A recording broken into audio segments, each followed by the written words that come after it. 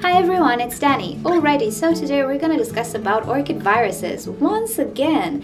Now, if you're a long-time subscriber, you might know that I have been testing for virus in my collection for a year and something now using the Agdia immunostrips. I'll present them to you today, uh, but if you want to learn more about viruses, how they affect orchids, why is it so important to discover viruses, I'll share an annotation right here somewhere where I made the first video about viruses, what they are, some information regarding them, and of course telling you they have no cure, and this is why you want to make sure that you don't have virus orchids in your collection, because the virus orchids can transmit the virus further on. So back then I showed you how to use this Cymbidium mosaic virus and the Oncidium uh, ring spot virus test kits. And I ordered myself some more tests because I ran out and Agdia actually sent me some more samples for some other viruses which are not specific necessarily to orchids but can affect orchids. Now the most common viruses are of course the Oncidium ring spot virus and Cymbidium mosaic virus but other viruses can infect orchids so if your uh, results come out negative for the Cymbidium and Oncidium specific specific viruses doesn't really mean your orchid is not virus. So I'm gonna be testing them on my orchids today. Hopefully I don't have any more virus orchids in my collection, but I do have a few question marks with some of the orchids. And today I'm gonna find out if I have virus orchids or not. Okay, let us start once again with the Cymbidium uh, mosaic virus and Oncidium uh, ring spot virus, just to review a little bit about what this virus can do. Okay, so here I have a test from Agdia that actually tests for the Cymbidium mosaic virus and Oncidium ring spot virus. So practically you test for both of these viruses. As I mentioned, these are the most spread viruses in orchid collections. Not the only ones, but the vast majority of cases, they do have these viruses. Now, when you're gonna order the test kit, you will get a tube which contains the actual test strips, which we're going to be using. Also a bag containing the envelopes with the reactive fluid, which needs to be refrigerated, as you can see here. And also a user manual, which tells you exactly how to use them and how to read them. So these viruses actually account for the vast majority of infected orchids, as I told you. Some signs uh, that tell you your orchid might be virus are color breaking on the orchid flowers, but also strange patterns on the leaves, discoloration of the leaves, uh, ring-shaped patches on the leaves, and so on. I do have some videos with some positive results that I got in the past, so I will add an annotation somewhere here. Also, I will add all these links in the description, so if you want to check those videos out, you can visit the description. So I'll show you how to test using this test kit uh, for these viruses because I do have a case which is pretty curious. And then we're to go through the other tests as well following the same procedure. This is the Encyclia vitellina that I just ordered from Wichmann. And luckily enough, it managed to bloom with a few buds that were not damaged too much in transport. However, I have a serious issue with this orchid and I'll try to give you a close-up of the flower. Do you see the color of the flower? I'm not sure if you can see, but I have color break on the flower. Now, one of the symptoms that viruses show is color break on the flower. Now, this sign right here is the most frightening thing you can see on your orchid because spotting on the leaves can mean a multitude of things. It can be sunburn, it can be fertilizer burn, it can be pest damage, it can be all sorts of things. But with flowers, there aren't many things that can do this to a flower. So yeah, I want to test this orchid because usually the Cymbidium mosaic virus and the, the other one usually give this side effect. I also see on one of the leaves here some discoloration. Hopefully you can see. Again, this does not look good to me and I think this is the leaf that I will be testing or the newest leaf. Actually, um, I'm going to be testing the newest leaf which has this flower. So, to test this orchid is actually pretty easy. I'm going to be using the Agdia Immunostrips. These are super easy to use. You can perform the test in your home. It takes a few minutes, uh, so you don't have to wait around for the lab results to come. If you don't have a lab in your territory or country, this is really a nice thing to have. And um, I'm to be using some sterile gloves and also sterile scissors. I sterilized the scissors with alcohol and also I flamed it a little bit so I make sure there are no diseases on it because we will need to cut a sample of the leaf. So what I'm gonna do, if you've watched the other videos you already know how to do this, you have the instructions inside. You have a manual here in case you don't know how to use this test, but I'm gonna show you. So what I'm gonna do here, this is the reactive fluid, which needs to react with the sampled leaf. I'm gonna cut the top of the envelope like so. I'm gonna place this somewhere vertically, so don't place it horizontally. I'm gonna take out the tube with my test strips and I'm gonna be cutting a sample of the leaf that I wanna test. I'm gonna test this leaf right here. So I'm gonna be cutting a sample of this size and then I'm gonna place it inside the envelope with the reactive fluid. Now we need to crush this leaf in order for its vital juices to mix with the reactive fluid. For this I actually use the handle of the scissors and you need to find yourself a flat surface and you need to crush this leaf. So this is how your ending fluid should look like. It should be green. Uh, the chlorophyll from the leaf has to mix with the reactive fluid in order to get a correct reading. So what you need to do now is get a test from the tube and insert it inside this envelope. When you insert it, make sure that the fluid does not go above this green line that you see here. Let me see if I can make this more visible for you. There you go. So the fluid should only stay within the green line, not above the green line. So all you have to do now is wait. Place this envelope vertically somewhere and wait for the results.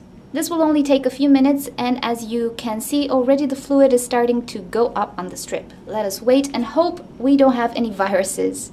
Okay, so about five minutes have passed and if I look at my test, I see that it came out negative. The only line that you see is the control line. And if you look in the user manual, you will know how to read these tests. If I would have had some viruses, I would have had multiple strips or multiple lines on this strip, but it seems that it came out negative. This is actually good news. Now, maybe the color streaking that I have on my flower is due to transport and stress and so on. I don't know. I do intend to keep this orchid. Of course, if the test is negative, I'm not going to toss it away. It costed me 20 euros, so I don't want to toss it away. This is good news, but I will keep an eye on it. I will try to make sure it does not touch any of my other orchids, which I know are not infected and so on. Just take a few precaution measures. Maybe this is just a sign of stress and transport and so on, because the test really did came out negative. The next blooming should be normal theoretically. If it's not normal, I will repeat the test because sometimes if there isn't enough quantity of virus detected, the test might not show an invalid result. I have never had it happen so far. I, I'm using these tests for the past one year and a half, but you never know. So, this is really good news. I will not toss my plant away uh, but I will keep an eye on it. Okay, the next group of viruses we're going to be testing for are the potyviruses. Now, this family of viruses accounts for 30% of known plant viruses. It's a huge family. Now, when you're going to have the results for the test, you will not know exactly the virus that your orchid is infected with because there are just so, so many. So you will not know exactly the virus you have. You will know it belongs to the potyvirus category, which is so, so wide. Now, some signs that an orchid might be infected with potyvirus they're pretty elusive, I have to say, starting from patches, dark patches on the leaves, to discolorations and chlorosis, even, and um, sometimes even rings. It really depends because there are so many strains of viruses. But again, patches on the leaves are not a good sign if your orchid is not vigorous, does not grow well, seems to lose new growth without any particular reason. It might be a potyvirus. If you test your orchid and it comes out negative for Cymbidium mosaic virus and um, Oncidium ring spot virus, you can then go ahead and test with the potyvirus test because it does not mean your orchid is not virused if it does show these signs, but it comes out negative for the other two viruses. Uh, the cases are not many, but I would suggest that potyviruses are the second type of virus uh, usually found in orchids. Alrighty, let us test an orchid now. Okay, so I disinfected my gloves with alcohol, the scissors with alcohol, and a torch. And now we're gonna be testing this orchid. Now, this is an orchid which obtained these spotting on the leaves after I actually repotted it in a media of coconut husk, which actually gave me a lot of trouble with many, many, many, many orchids uh, displaying pretty much the same symptoms. Now, this orchid does not show positive for Cymbidium mosaic virus or Oncidium uh, ring spot virus, but maybe it has a different virus because for the life of me, I cannot cure this orchid. So I will not show you the whole process. It's basically the same as I showed you earlier, but I'm gonna come back with the result. Okay, so I am back with the results of the test, and as you can see, I only have one line showing. This shows a negative result. If I would have had two lines, this orchid would have been infested with a virus. But since I only have one single line showing, I know this orchid is not infested with a virus, which is good news. Okay, another type of virus that can infect orchids is the tomato spotted wilt virus. That's a mouthful. Now, this virus again creates those circle patterns on leaves. If you have a fruit, for example, on tomatoes, it can create those patterns on tomatoes as well. But of course, orchids don't have fruits, um, not in the sense of edible fruits. But usually, this type of virus will create some sort of um, circular pattern on the leaf in most cases and I do have an orchid that has this pattern. It came out negative for the other, for the Cymbidium and uh, Oncidium ring spot mosaic viruses. So I'm really curious if I'm dealing with a different type of virus. In any case, this is not as widely spread as the other two viruses, uh, but nonetheless, I do want to test it because I want to find out if my orchid needs to be thrown away or not. Okay, so the next plant we will test is this Phalaenopsis orchid, which displays a very peculiar pattern on its leaves. Now, I will test this orchid for the tomato spotted wilt virus, which can sometimes look like this. So I'll come back with the results.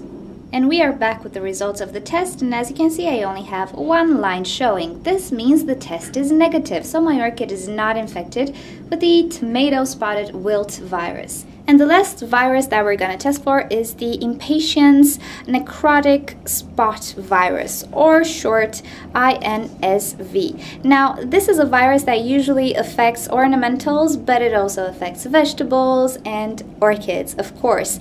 Again, the signs for this virus are pretty elusive. Chlorosis, as the uh, name suggests, uh, spotting in some cases, in any way, patches on the leaves, and of course, like all viruses, that uh, non-vigorous growth pattern of any orchid. So again, I will test some weird looking orchids that I have for this virus as well, uh, see what the results come. Again, this is not a very, very widely spread virus in um, orchid growing, but since this virus can affect easily other ornamentals, and you know that in nurseries they don't necessarily always grow only orchids, they have other plants as well, I do have a little bit of a fear that orchids might get infected with this virus from other ornamentals. So we're gonna test an orchid and hopefully it's not gonna come out positive. We'll see. So here we have another orchid that suffered the same fate as my other one. It has all sorts of spotting on the leaves. So this orchid will be tested for the impatiens necrotic spot virus.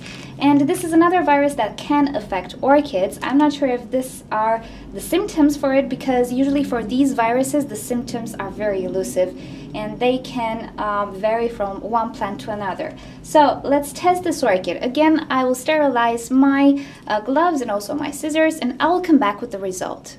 So here we go, we are back with the results. As you can see, I only have the control line, which means this orchid is not infected with a INSV virus which again is very good news. So as you can see, I did not detect any infected orchids. That's such good news. But I do still have more tests and I'm gonna keep them and test in the future because it is inevitable at some point that you will have a virus orchid. It just happens and that is that. But if you stay on top of things, you can actually control the situation. I do have another video on how to try to limit the virus spread in an orchid collection. So I will add in the description and probably somewhere here the link to that video as well. So I will link in the description all the videos that I ever made about um, viruses. And I do have an answer for Holy City orchids. Potyviruses can actually be spread through aphids and through spider mites and so on. I will add some uh, articles and some um, informative stuff from Agdia in the description as well so you can download them and learn more. And also you can see some pictures of signs of virus and so on so you know a bit more about viruses. And if you're interested to know the symptoms of viruses, you can definitely check it out. But as you can see, the symptoms sometimes are elusive. So if you see an orchid with a ring spot, maybe it's not a virus, maybe it's a fungal disease, but maybe it's a virus. So it's it's a nightmare. This is any orchid grower's nightmare. But we have the tests now I made another video with these tests on vegetables as well because of course they can work on vegetables as well. So I will add a link towards that video as well. Also I will link the Agdia site so you can see what other types of viruses can affect orchids and what other types of tests they can offer. And also if you are interested in buying these tests if you are in the USA, I will add a link towards uh, contacting Agdia USA and you can email them and of course they're going to help you out. But if you are from Europe, Africa or Middle East, I have some very, very good news for you. I will add in the description uh, below an email which you can actually contact and get in touch with Salima, which is my contact for uh, the strips that I order, and she will actually help you out with ordering these tests also, you will have a 20% discount and all the information um, I give you now is in the description below. You have the prices for the tests. I will give you, they're not very cheap. But Agdia is really trying to make this as cheap as possible. If you have laboratories, you know that one sample costs $5 or something like that to test. So it, it is within that price range. And also Agdia are trying to lower the transport fees, but it just depends on your territory um, and on your region, of course. So you will have 20% discount for the tests for orchids, for the test that includes the Cymbidium mosaic virus and the Oncidium ring spot virus, which are the most common viruses you actually find with orchids. So if you reside in Europe, Africa, and Middle East, you have the, this discount and you have all the information down in the description. And as I said, even if they cost a bit more than uh, your average orchid, it, it is well worth it. And I'm not just saying this. I can sleep better at night knowing that I discarded my virus orchids and kept only the healthy orchids. So check the description for all the information that I can provide you. Also, if you're interested in purchasing these tests, contact Salima. I swear she's just the nicest person that I've ever met and helped me out a lot, making uh, ordering very easy for me and so on. So do check the description. I'm telling you at least for those orchids that give you nightmares and you don't know what to do with them, you know, this is the confirmation you're looking for. If you live in an area which does not have a laboratory like me, this is really a lifesaver. So, okay gang, thank you for watching. Hope you found this useful. If you want to see more videos from me, don't forget to subscribe. Check the description for all the information that I know of regarding viruses. So, I'll give you everything I know about viruses. Um, and if you want to leave me questions or suggestions, or if you need my help in any way with testing and viruses and ordering or anything, um, just message and I'll try to help you out the best I can. And yeah, just follow me on Twitter and Instagram if you want to stay in touch. I'll see you next time. Bye.